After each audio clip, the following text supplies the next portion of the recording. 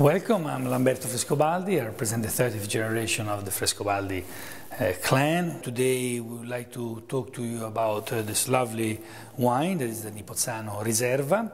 We are 25 east of Florence, only 25 kilometers, so it means 25 minutes east of Florence.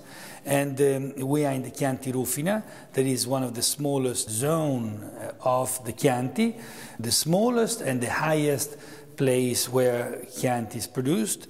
So that gives certain characteristics of the wine that we're gonna taste together with you. Uh, Nipozzano is an historic place. We are in a very historic uh, cellar.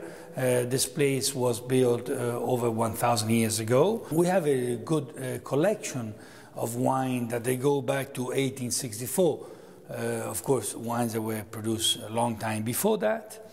And lastly is the place where um, my family puts uh, to aside a number of bottles of wine when a new family member is born. Uh, so they are also the private cellars of the Frescobaldi here in Nipozzano. Now we would like to taste uh, together with you the Nipozzano. Uh, this is the Riserva 2006. It's a, wine that uh, over years has had a, an amazing high quality standard. Uh, just to let you know, over the last four years, three times has gone in the top 100 for the Wine Spectator.